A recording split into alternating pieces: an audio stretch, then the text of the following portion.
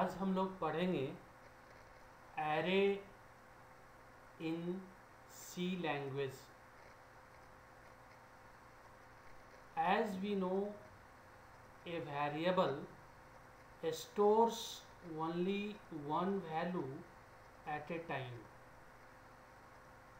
if we require to store five values then it needs to declare five separate variables and so on. Thus we can see as number of values increases then declaration of variable also increases. Therefore we need a mechanism to store multiple values at a time in a single variable. Thus, a concept of array came in programming that provides a facility to store multiple values at a time in a single variable. हम सब लोग जानते हैं कि एक variable में at a time एक ही वैल्यू स्टोर कर सकते हैं। यदि हमें एक से ज़्यादा वैल्यू स्टोर करना है, या हम ये कहें कि हमें पाँच वैल्यू स्टोर करने हैं तो मुझे पाँच वेरिएबल डिक्लेयर करना होगा। और अगर मुझे दस वैल्यू स्टोर करना है देन मुझे दस वेरिएबल डिक्लेयर करना होगा। इन दिस वे हम ये देखते हैं कि number of variables declaration increase कर जाता है और इट बिकम्स कॉम्प्लेक्स अगर हम ये कहें कि हमें सौ वैल्यू स्टोर करना है तो इसका मतलब ये होगा कि हमें सौ वेरिएबल डिक्लेयर करना होगा। तो इस तरह से कॉम्प्लेक्सिटी बढ़ते चला जाता है। सो so, हमें एक ऐसे मैकेनिज्म का ज़रूरत था हमें एक ऐसे मेथड का ज़रूरत था जहाँ पे हम एक सिंगल वेरिएबल में ही एक से ज़्यादा वैल्यू स्टोर कर पाएँ। इस तरह से एरे का कॉन्सेप्ट प्रोग्रामिंग में आया। एरे हमें एक से ज़्यादा वैल्यू सिंगल वेरिएबल में स्टोर करने का फैसिलिटी प्रोवाइड करता है। अब हम लोग देखते हैं कि हम कैसे एरे को डिफाइन कर सकते हैं। एरे को कैसे डिफाइन कर सकते हैं।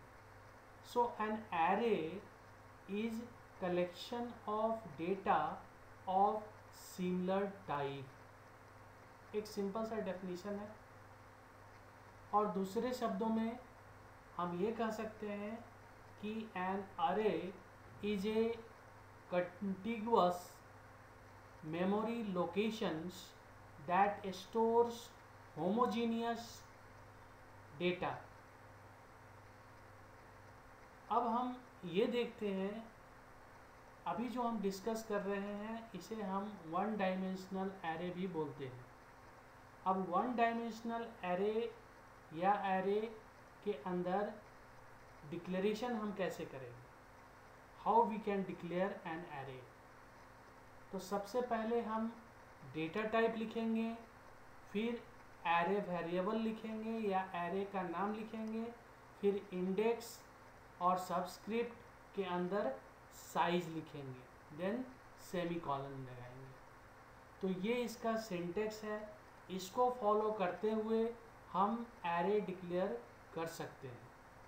सो so, हम यहाँ पर देखते हैं एक एग्जांपल हमने यहाँ पर एक एरे डिक्लेयर किया है जो इंटीजर टाइप का है। Int A index five semicolon अब इस ये एरे वेरिएबल ए है, जो इंटीजर टाइप का है, और इसके अंदर हमने साइज़ फाइव लिखा है। That means it will store five values of integer type दूसरा मैंने डिक्लेयर किया है float x index ten semicolon ये दूसरा वेरिएबल है एरे वेरिएबल एक्स जो फ्लॉट टाइप का है और इसका साइज़ टेन है। It means it will hold ten values of float type अब हम देखते हैं कि ये मेमोरी में कैसे इसका रिप्रेजेंटेशन हो सकता है। कैसे इसको हम लोग विजुअलाइज कर सकते हैं? कैसे इसको समझ सकते हैं? शो फ़र्स्ट एक हम डिक्लेयर करते हैं एरे को int X index five semicolon यहाँ पर एरे वेरिएबल एक्स है, जो इंटीजर टाइप का है और इसका साइज़ फाइव है। ये स्टेटमेंट क्या करेगा? ये स्टेटमेंट मेमोरी एलोकेट करेगा। ऑफ़ टेन बाइट्स क्यों भाई टेन बाइट्स क्योंकि हम सब लोग जानते हैं कि one integer variable requires two bytes memory space therefore total ten bytes require for storing five values इस तरह से हम ये समझ सकते हैं कि अगर एक इंटीजर वेरिएबल के लिए दो बाइट की ज़रूरत होती है तो पाँच इंटीजर वेरिएबल को स्टोर करने के लिए हमें टोटल दस बाइट की आवश्यकता होगी। So in this way we can map और understand so graphically we go through the graphically हम ग्राफिकली इसको समझाने का कोशिश कर रहे हैं। तो यहाँ पर हमने पाँच टोटल टेन बाइट्स को फाइव डिफरेंट ब्लॉक्स में डिवाइड कर दिया है। पहला जो ब्लॉक है, पहला जो मेमोरी का लोकेशन है, उसको हम एलिमेंट एक्स ऑफ़ ज़ीरो से इंडिकेट कर रहे हैं।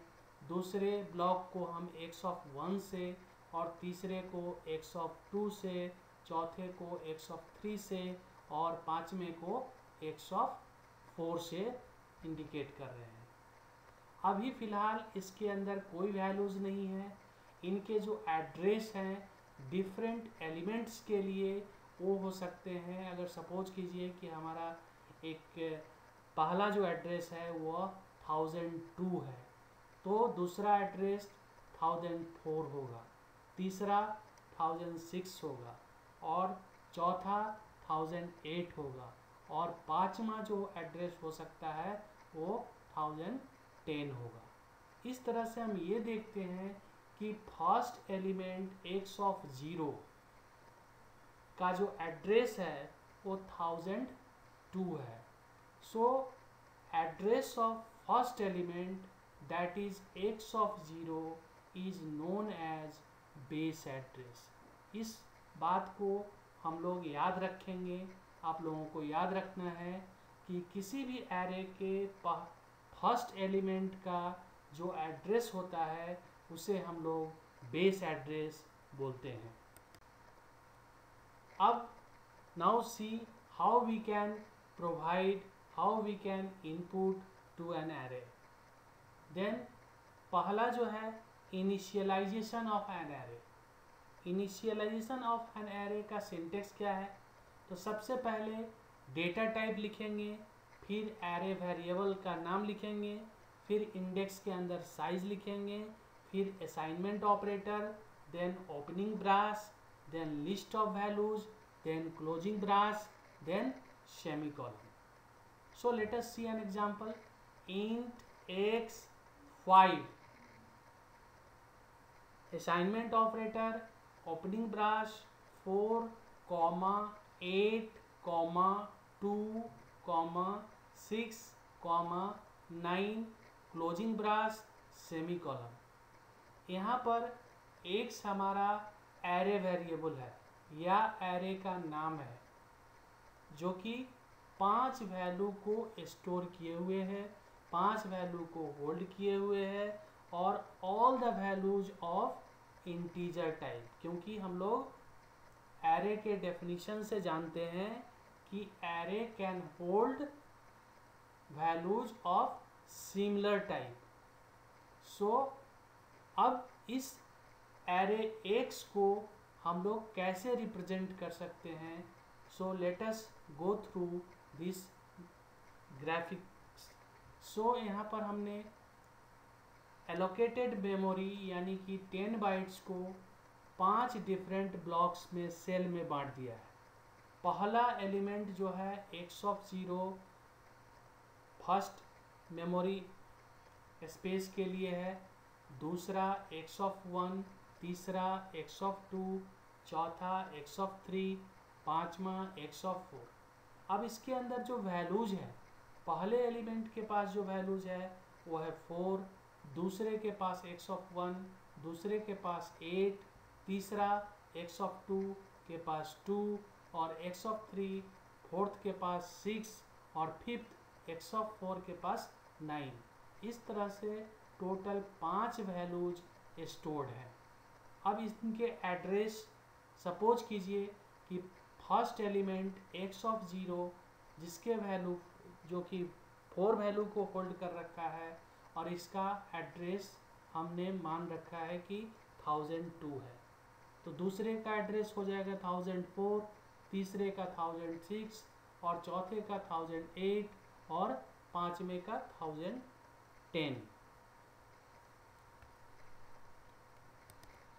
अब हम यहाँ समझ, और थोड़ा सा समझने का कोशिश करते हैं कि अगर और इसको सिंप्लीफाई करके देखें तो हम देखते हैं कि first element that is X of zero assignment operator four semicolon दूसरा X of one assignment operator eight semicolon इसी तरीके से तीसरा X of two assignment operator two semicolon fourth number पे X of three assignment operator six semicolon पाँचवें number पर X of four assignment operator nine semicolon अब अगर suppose कीजिए कि हम इन सबों को डिस्प्ले करना चाहते हैं। हम हर एक स्टेटमेंट में जो एलिमेंट वैल्यू रखे हुए हैं, उसको हम डिस्प्ले करना चाहते हैं। तो हम कैसे करते हैं सी के अंदर? सी प्रोग्रामिंग के अंदर अगर हमें वेरिएबल के वैल्यू डिस्प्ले करने हैं तो हमें प्रिंट फ़ंक्शन का यूज़ करना होता है। सो so, हम लिखते हैं print F parenthesis double quote percent D double quote close comma X of zero parenthesis close semicolon अब हमें ये क्या देगा? ये देगा फ़र्स्ट एलिमेंट का वैल्यू जो कि क्या है? फोर है। अब हम उसी तरीके से सिमिलरली दूसरे को प्रिंट अगर करना चाहते हैं, दूसरे एलिमेंट के वैल्यू को डिस्प्ले करना चाहते हैं तो क्या लिखेंगे? फिर हम प्रिंट एफ़ लिखेंगे। Print F parenthesis double quote percent D double quote close comma X of one right parenthesis semicolon अब ये स्टेटमेंट जब एग्जीक्यूट होगा तो क्या वैल्यू देगा? ये एट डिस्प्ले करेगा। दूसरे एलिमेंट का वैल्यू अब इसी तरीके से तीसरे का हम देखते हैं तो फिर हम लिखेंगे print F left parenthesis double quote percent D double quote close comma X of two right parenthesis semicolon अब ये स्टेटमेंट जब एग्जीक्यूट होगा तो ये देगा थर्ड एलिमेंट का वैल्यू दैट इज़ टू अब फिर हम चौथे और पाँचवें एलिमेंट को इसी तरीके से प्रिंट स्टेटमेंट के सहारे डिस्प्ले कर सकते हैं। तो इस तरह से हम देख रहे हैं कि हम हर एक एलिमेंट का वैल्यू प्रिंट स्टेटमेंट लिख के डिस्प्ले कर पा रहे हैं। सो Here we can see a repetition of task. That is 5 time printf function or statement is written to display the value of array elements. Thus, we can use the concept of loop to avoid by writing five times printf function और statements. हमने देखा कि हमें पाँच array value को display करने के लिए पाँच बार हमें प्रिंटेफ प्रिंटेफ प्रिंटेफ लिखना पड़ा। सो so, इसको अवॉइड करने के लिए अगर हम लूप का कॉन्सेप्ट यूज़ कर लें तो it becomes easy that's why we have used for loop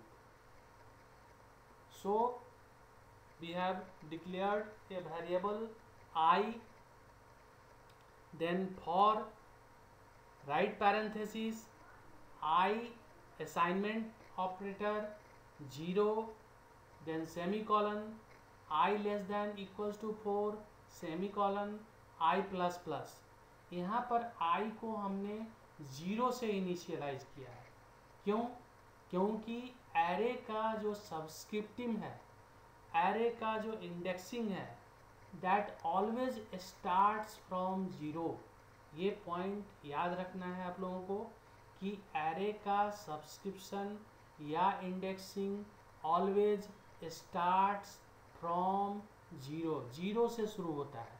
that's why यहाँ पर हमें आई को ज़ीरो से इनिशियलाइज करना पड़ा है। सो so, ज़ीरो से लेके आई का वैल्यू कहाँ तक है? फोर तक है। टोटल नंबर कितना हो गया? Five so I equal to zero semi column I less than equals to four semi column I plus plus then opening brace then हम लिखते हैं printf double quote percent three D double quote close comma X of I right parenthesis then semi colon then closing brace अब ये small code जब execute करेगा run करेगा तो क्या आउटपुट देगा? ये देगा जो हमने पीछे वाले एरे में स्टोर किया है। Four eight two six nine so इसका इस एग्जीक्यूशन के बाद जो आउटपुट होगा, वो होगा four eight two six nine यहाँ पर आप देख रहे हैं परसेंट थ्री डी ये परसेंट थ्री डी क्या है?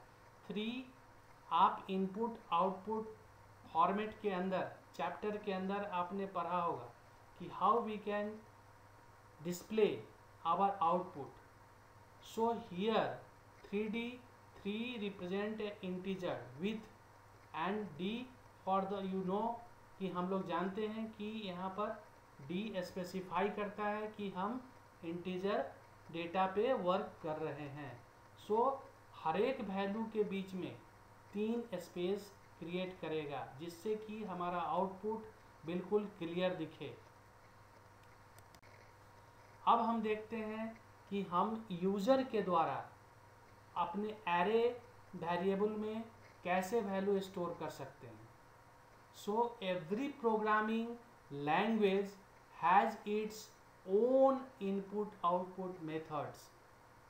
We can use printf and scanf function for input output operations in C language. So let us see int x 5 comma i. यहाँ पर हमने एक एरे लिया है एक एरे डिक्लेयर किया है जिसका साइज़ 5 है। और दूसरा i एक वेरिएबल लिया है जो फॉर लूप के लिए हम यूज़ करेंगे। सो so, चलिए हम लिखते हैं for loop for right parenthesis I assignment operator zero semi colon I less than equals to four semi colon I plus plus closing parenthesis now opening brace अब इस ओपनिंग ब्राश के अंदर जो हम प्रिंट एफ़ स्टेटमेंट लिख रहे हैं, देखिए। Printf right parenthesis double quote double quote enter the value of array elements colon double quote close right parenthesis semi colon then scan F scan F के बाद left parenthesis double quote percent D double quote close comma M percent X of I right parenthesis semi colon closing class ये दो for loop के अंदर दो statement printed for scan ये scan क्या करेगा? जो भी वैल्यू हम इनपुट करेंगे कीबोर्ड के थ्रू उसको ये रीड कर लेगा। रीड करके और स्टोर कर देगा। हमारे एरे एलिमेंट में जाके एरे के लिए जो स्पेस एलोकेटेड है, वहाँ जाके इसको स्टोर कर देगा। Now let us see an example, complete example. Word main opening brass int x index 5 assignment operator opening brass 5 comma 7 comma 8 comma 9 comma 12 closing brass comma i semicolon for i assignment operator 0 i less than equals to 4 semicolon, i plus plus. Then opening brass then printf क्यों printf लिख रहे हैं? क्योंकि हमें value को display करना है। Display करने के लिए सी प्रोग्रामिंग के अंदर प्रिंटेफ हम यूज़ करते हैं। So printf double quote percent three D double quote close comma X of I closing parenthesis semi column closing brace ये हमें एग्जीक्यूट ये जो प्रोग्राम है ये जब रन करेगा तो हम आउटपुट आएगा four five seven eight nine twelve अब हम दूसरे एग्जाम्पल्स को देखते हैं। इसमें हमने यूज़र से वैल्यू लिया है। Void main opening brace int X of five comma I यहाँ पर हमने एक्स नाम का एरे वेरिएबल डिक्लेयर किया है, जिसका साइज़ फाइव है। और दूसरा एक वेरिएबल लिया है आई जिसकी ज़रूरत हमें फॉर लुक के अंदर पड़ेगा। So for I assignment operator zero semi colon I less than equals to four semi colon I plus plus then opening brass, printf enter the value of array elements colon double quote close parentheses semicolon then scanf left parenthesis double quote percent d double quote close comma ampersand x of i right parenthesis semicolon ये again हम यहाँ पर देख रहे हैं scan जो है, वो रिस्पॉन्सिबल है for reading and storing the value अब ये, इसका काम ये है कि ये जो भी वैल्यू हम लोग इनपुट करेंगे, उसको जाके एरे में स्टोर कर देगा। अब हम उस स्टोर्ड वैल्यू को देखना चाहते हैं डिस्प्ले करना चाहते हैं। वो कैसे करेंगे? Again with the help of printf statement printf के सहारे हम इस काम को कर सकते हैं। हम डिस्प्ले कर सकते हैं। So write printf statement printf right parenthesis double quote the value of array elements are colon double quote close parenthesis semi parenthesis, semicolon. Then for loop, for i assignment operator 0 semicolon, i less than equals to 4 semicolon i plus plus right parenthesis opening brace then printf left parenthesis double quote percent 3d double quote close comma x of i then